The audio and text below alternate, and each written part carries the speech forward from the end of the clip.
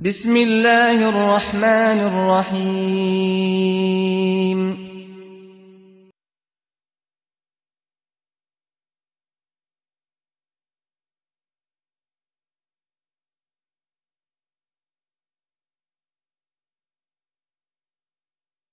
Assalamu alaikum, welcome to another episode of Out of Focus. So, the hijab is something that Muslim women tend to wear and it's always up for discussion. Some people see it as a symbol of oppression, others say that it's a fashion statement.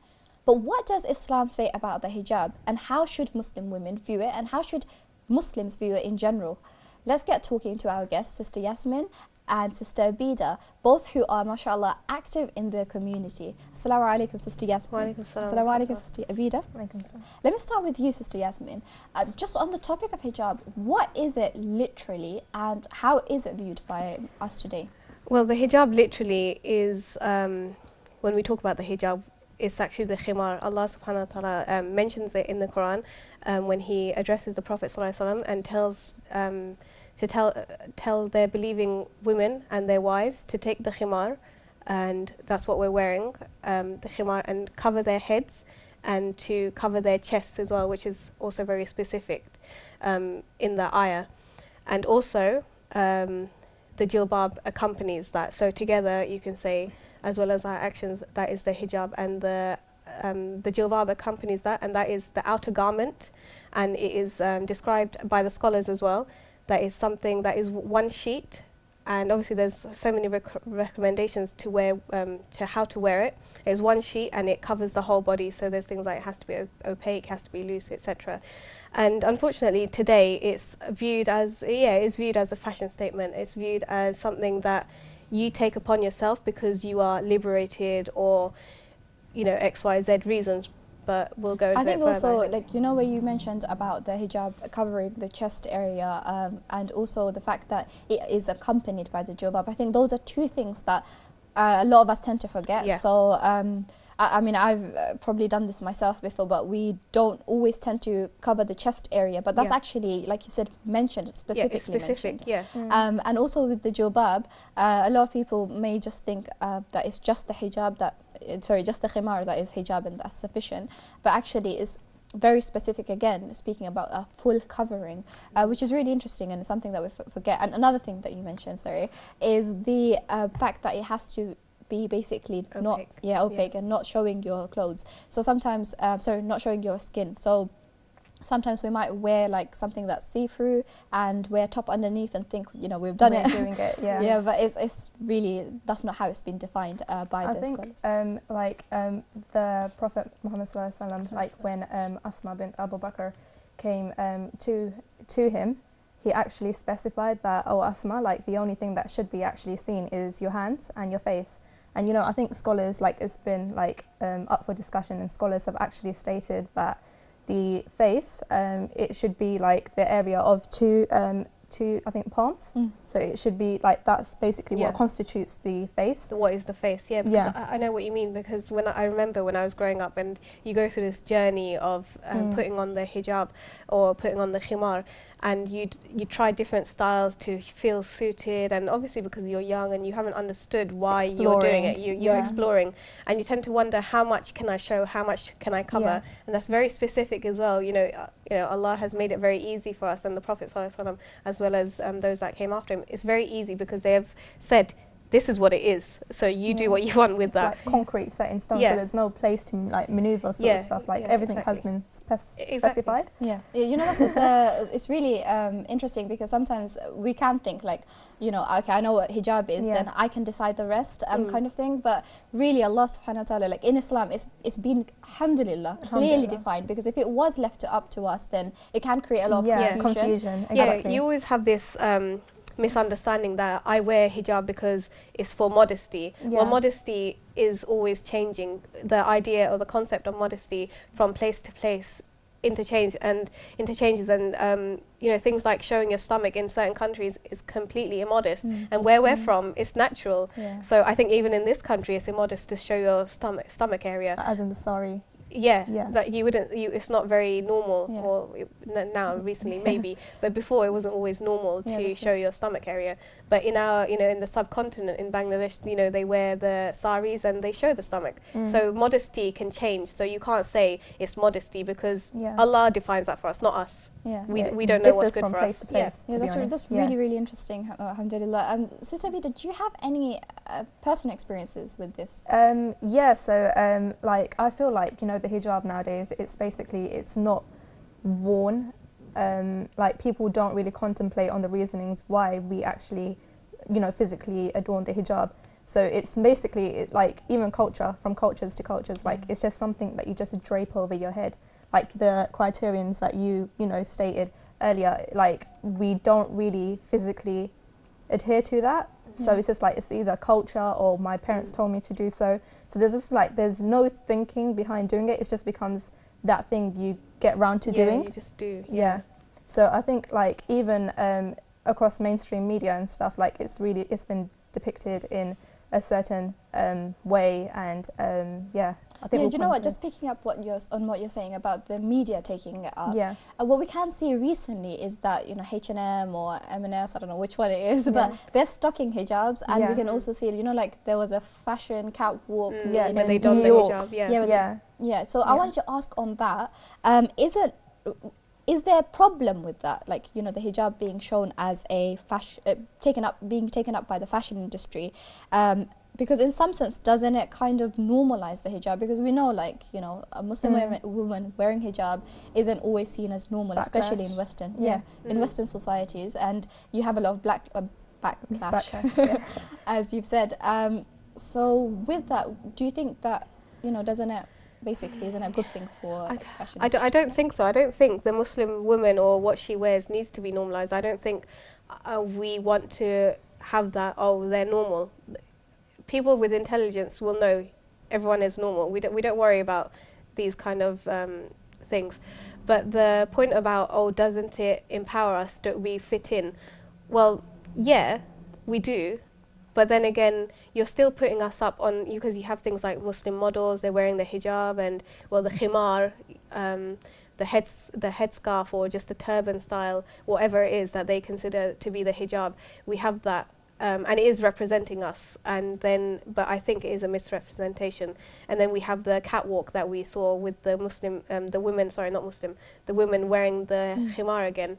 And yeah, you could say it's representing us, but then it's the same industries that exploit women. It's the same industries that make women focus too much on how they look, and that is not what Allah wants from us, and that is not what is good for us either. Because you still have young women growing up looking at these things and thinking, oh, I need to be thin still, because you're still putting up a set of women that have a certain way that they look, and then because you're um, beautifying or glamorizing these things, still younger women, even women our age, older women as well, they're still going to look at these things think and feel um, unhappy within themselves because they're always searching for something else, Mm. shallow, superficial things, and that's not what a Muslim woman is and should care about. Yeah. Um, so no, I'm I, I'm not impressed whatsoever by these things, and I, I think um, it's a misrepresentation and a disservice to Muslim women. Sure. So, Sister Abida, what about your opinion? What do you think about the fashion industry in empowering Muslim women by taking it up as something to display? I think we've seen a high rise in like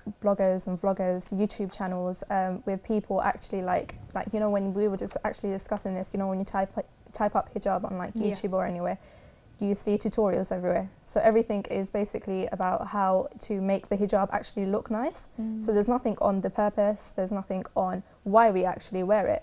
So it, everything is just basically you know to be aesthetically pleasing. Yeah, that's what it Mm. is. It's just Yeah, the look, isn't it? Exactly, and um, I think um, probably the reasons why um, there is that sector where you know people blog, vlog on YouTube is because they want to actually uh, it's in probably in an, in, in an attempt to integrate Yeah. so into society, and sometimes that leads to them forfeiting their um, Islamic identities, where they're trying to um, break you know the stereotypical definitely. image of Mm. women, and um, so like you were saying, it's not actually like it doesn't go back to the criteria Yeah. of what the hijab Yeah. is, why we wear the hijab. Yeah, even if it does break the stereotypes, Yeah, we can still break stereotypes, which Yeah. are things like the Muslim woman is oppressed. Yeah. Well, we're doing it right now because supposedly the Muslim woman is Yeah. shut in a cupboard somewhere. Exactly. Well, we're not.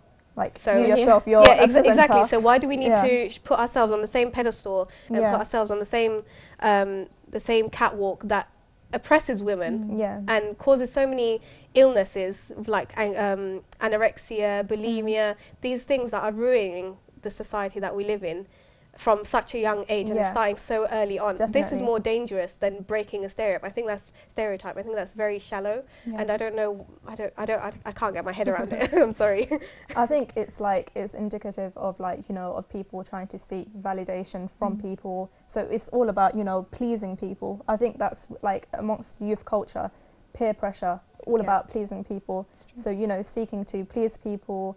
You know, even the freedom fallacy. Oh, Mm. like you know, and you know the secular secularization Yeah. of religion that comes into play from all of these things. Yeah. I guess it is And- kind of that, yeah. not it? Because once you take away the purpose of wearing the hijab, then Yeah. it can just become a fashion Mm. statement. Yeah. You're just doing it for yourself, Yeah. you're doing it for other people, Yeah. whatever it is, but you Yeah. s- secularize something. You know, what I love about the hijab is is the fact that it's a statement that Islam Yeah. isn't And secular. what's more empowering than trying to please the one that created you? Created you. than Yeah. trying to please so and so who changes their mind if Mm. looking thick or th- looking skinny or looking dark or looking fair is beautiful when it changes Exactly. with the weather. So what's more empowering? Yeah, exactly. And you know, that's what the hijab does. Like, it Exactly. empowers you Yeah, because it- it takes away, you know, what you both are talking Yeah. about the fact that the fashion industry exploits women. Yeah, yeah. and it causes them so much damage mentally, Mm. psychologically. It has such a negative effect effect on women, Mm. yeah. and this is what the hijab takes away. It says, Yeah. you know, it's, it's a distraction. You don't need Yeah. to think about that. Don't Think worry about how I look. Yeah. exactly bigger Yeah. things contributing to society, Yeah. The changing skills, the world, Yeah. yeah, the skills, developing your skills, and you know, alhamdulillah, it, it's really, really is inspiring. So you were going to, Yeah, I think like you know, um, like mainstream media as a whole, like as a medium, is basically um, and like you, Muslims putting themselves out there. I think it's all about you know like consumerism and you know the capitalist um, you know objectives of consumerism. This is Mm. all about you know um, objectifying women, Yeah. like commodifying them, like Yeah. they're seen as mere commodities. Like there's, it's all face value. So it's just like it doesn't go deeper than that. yeah, So it's literally it reduces it's reductive and it reduces women to um, as objects. Basically, yeah. Basically, Literally objects. Yeah. yeah, No, Yeah. definitely, I agree. yeah, yeah, sure. So when we say that, you know, the hijab basically uh, is basically something more Mm. than just uh, wearing it for the Yeah. sake of people. It's about wearing it for Allah. yeah, Um, what about when people might think like, if I don't know what's in, if I don't know what's fashionable, if we Mhm. don't follow what's fashionable in society, yeah, then we won't basically kind of like be in with everything Mm. and we would again like be outsiders and things Yeah. like that because one thing that i um, was when i was doing research on this topic i found that a lot of muslim women who are in the fashion industry uh, particularly uh, trying to portray the hijab have been saying what they do is what's in fashion at the moment just Mm. generally they take that up and Mm. they um, hijabify it halalify it Yeah. Halalify it, yeah. so um, so it's about you know making sure that Muslim women don't feel like you know they're not in with Mm. the Yeah. kind of thing. And we, I mean, in Islam it is said, and I hear this so often, to look presentable. Yeah. Mm. So if Muslim women aren't in with the what's it called fashion Yeah. you Yeah, thing yeah. At, the, at that time, then will we look presentable to people? yeah. Yeah. I think there's a really big there's a stark dis- Mm. distinction between looking presentable and um, what's the other one? Like looking there's a, a there's this really Yeah. like there's a contrast between looking presentable and you know following what our The religion trend. yeah, like Okay, following. yeah No, no, carry on because No, I'm no. probably thinking about something else. Yeah, so um, there's th- there's a difference between that. You are you're allowed to look presentable, like Yeah. you know, as long as we're actually, um, like you know, the ayahs that she gave from Surah Al Ahzab, and um, yeah, so like as long as we actually like, you know, it's up to your wrist, um, it's one piece. Yeah. You're covering your front, you're covering your head. Yeah, definitely. Like there is room to there, maneuver. there is there is room. I, d- I Yeah. definitely agree. I was actually going to say, yeah, there are limits because don't think that Islam is just yeah, you black know, and white. black and white. Yeah. There are limits, and we have concepts that we can't go into. We don't have a lot of time. Um, things such as the custom of where you're living, Mm. things such as um, what is excessive adornments. These are the things that you can look into, and you know you can still be presentable. And looking presentable doesn't necessarily mean um, you know, face full of so much makeup, Mm. or you're wearing um, dangly things that make noise. These are things that have been mentioned in the hadith, the hadith of the Prophet sallallahu alaihi wasallam where you know things like dangling adornments shouldn't be worn by women, perfume in public that attracts the opposite gender. Zina. Yeah, so these are things, and they they are outside of the limits. You can still be presentable within the limits that we have been given, and I think that's for the viewers to go and research more into, as we don't have time. But I, I think that's a really, really important point that you're making right at the end about researching into that because yeah. I mean, it's fair enough to say I'm wearing the hijab, but again, like when we're having this discussion, I'm just thinking about so many different Yeah. things of my own personal experience of when I just thought, okay, I understand what hijab is, and then I wore it however I liked. But actually, Islam clearly, now, you know, from what I'm Mm. hearing, has defined the re- remits, Remits, of uh, wearing this, Yeah. and it is uh, the onus is on us to go and find out. Exactly. No one's there. saying wear black. No one's saying be boring.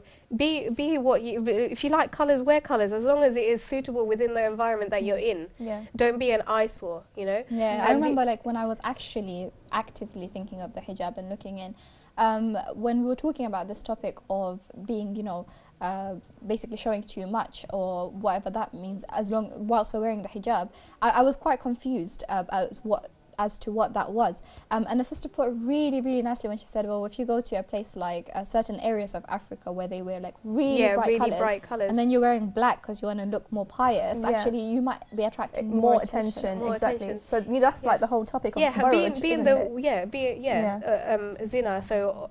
Over or um, adorning yourself, but be in the limits of your society. Obviously, you don't have to dress exactly like um, other people. Mm. That is not um, acceptable by um, Islam. Like you know, showing your um, legs, etc. But you can still wear the colors. You can still wear the prints. You can still wear the material. There's nothing wrong with that. Um, but I think the problem that uh, you mentioned, someone working in the fashion industry, it comes back to what we were mentioning earlier as trying to fit in, and isn't that empowering? Well, you know, is is it empowering to put women on a catwalk to be looked at by millions and thousands of men? Mm. So many people criticizing them, so many people that are causing that person. Um, essentially to have these problems such as Yeah, and it goes Um, back to yeah. the fact that as, as Muslim women, uh, Allah subhanahu wa ta'ala has given us such an honor of not seeking validation from other Yeah. people, but only thinking about, you know, are we pleasing Him Exactly. subhanahu wa ta'ala. And, Yeah. you know, we, we think about the Muslim women of in our history Mm. who did wear, you know, the hijab, like Aisha radiallahu anha, the female scholar Mm. who, you know, was so much of the hadith were taken was taken from her, mashallah, and how much contribution she had to Islam that even today, when we're studying about Islam, we always consistently come across hadith from Aisha Exactly. anha.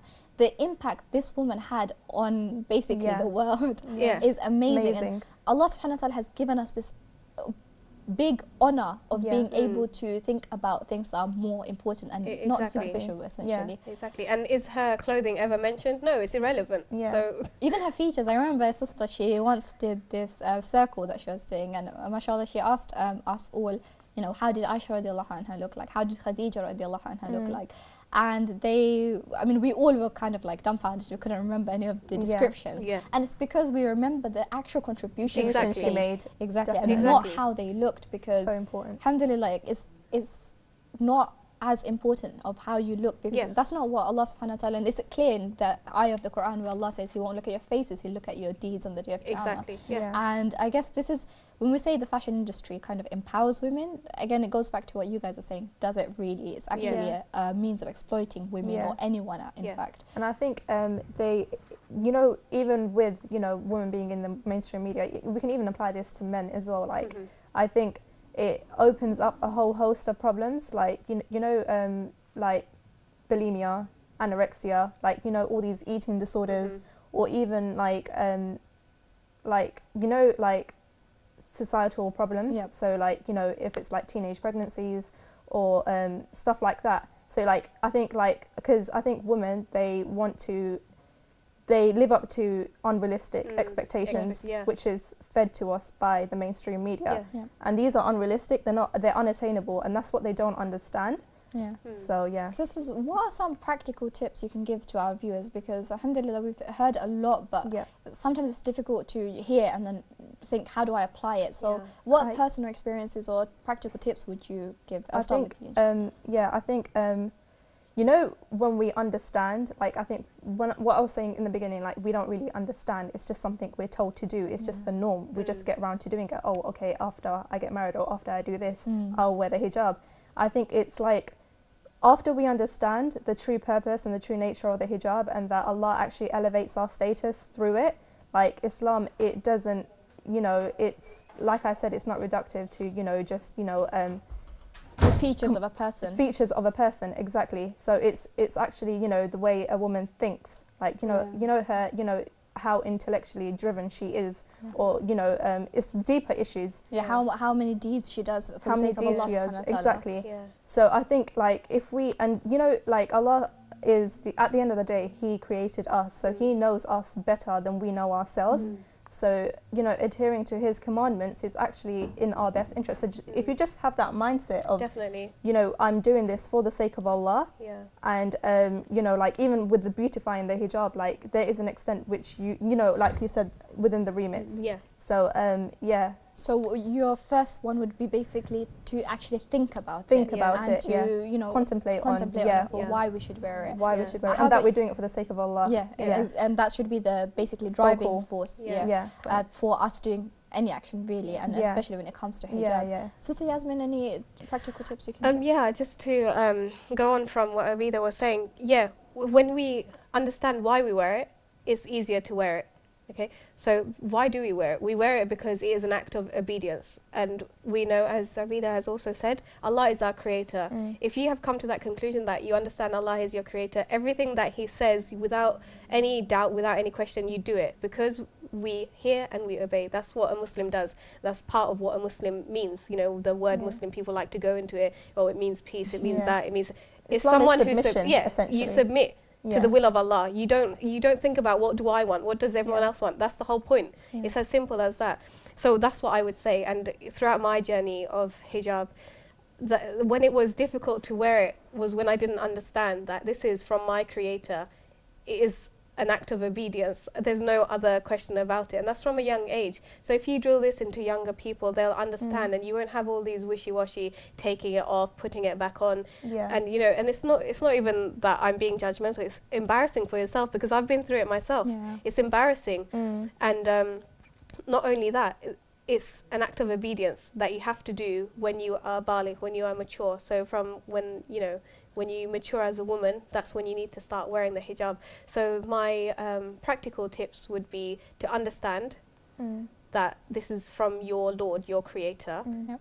Wear it. And then everything else will follow. Don't worry that you're doing X, Y, Z. Everything else will follow. Your friends around you will change. You'll Yeah. realize you might lose friends. It doesn't matter Yeah.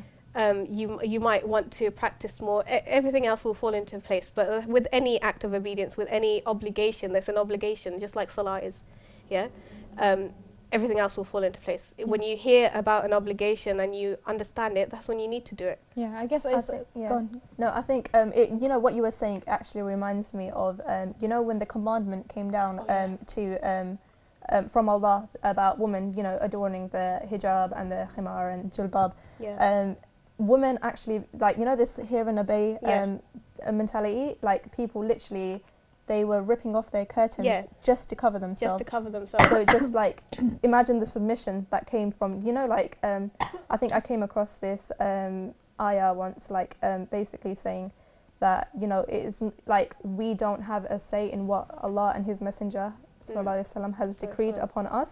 So when we when we you know it comes from the freedom of believing. So you know when we believe in Allah and the Messenger, um, that's just utter submission. Yeah. Everything you do you don't think that, twice. exactly, Yeah, you don't yeah. think twice, like you're saying. They just Mm. ripped off the curtains just Yeah. to cover themselves, yeah just to fulfill that commandment, commandment from Allah. because they understood and it's not because they were pious it's not because they were like superhumans this is what we need to understand this is why we have the examples of the companions because they are humans that we can relate to with the same societal problems or even worse i think don't you think yeah. even worse problems in Yeah. their time you know the A- arab period um, at Yeah. that time is very hostile There's so much fitna. Yeah, exactly. so we can't yeah. complain, oh, it's a different era. No, it was Yeah, worse. It was harder for them. They were being persecuted. They were Yeah. being attacked. They were they being were the first Muslims as well. So Exactly. So how can we ever complain that it's very difficult for us to do certain things and be visibly Muslim. Yeah. If you understand something, you'll do it, and if you are truly convinced, you'll do it. Everything else will I follow. Think, I think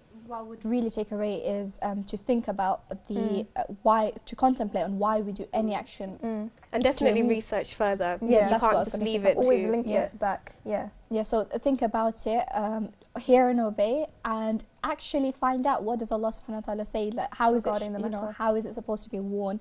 Uh, because sometimes we don't research into it, Yeah. to it and uh, really know how to do it. Uh, so Yeah. jazakumullah khair to both of you, Yeah. and jazakallah khair to our viewers. Uh, inshallah, we hope we look forward to you joining us again. Assalamu alaikum.